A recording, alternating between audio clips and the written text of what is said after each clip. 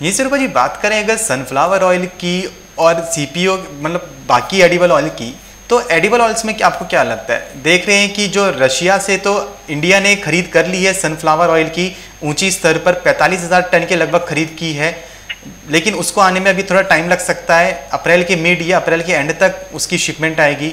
CPU के दाम पहले से ही बढ़े हुए देख रहे हैं। सरसों की बम्पर उत्पादन के बावजूद भी कीमतें कम नहीं हो रही हैं। तो आपको क्या लगता है? क्या आगे जाके कुछ संभावना बन रही है खाद्य तेलों में नरमी की? क्या आगे जाके कुछ नरमी बन सकती है या फिर आगे खाद्य तेलों में आगे आगे और उछाल आएगा?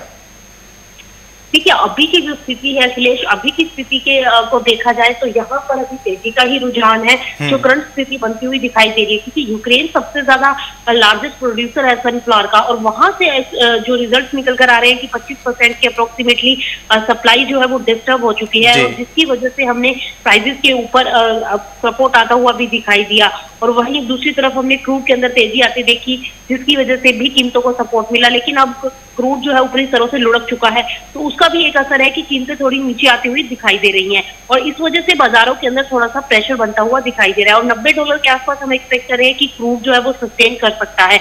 और नब्बे डॉलर पर अगर क्रूड सस्टेन करता है तो आपको वापिस से बाज़ार जो है वो सपोर्ट लेते हुए दिखाई दे सकते हैं। जी।